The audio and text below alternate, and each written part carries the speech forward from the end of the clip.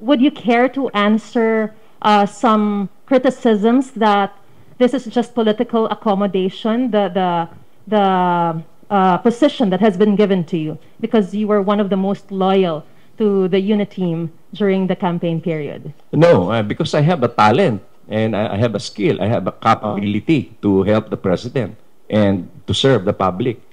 Uh, you can say that if this is a uh, political accommodation, if I am totally uh, uh, unequipped with uh, with skills or capability, pero eh, yan naman ay napatunayan natin yan sa larangan ng business and uh, uh, corporate world na tayo ay um, may nalalaman. Kaya ganon.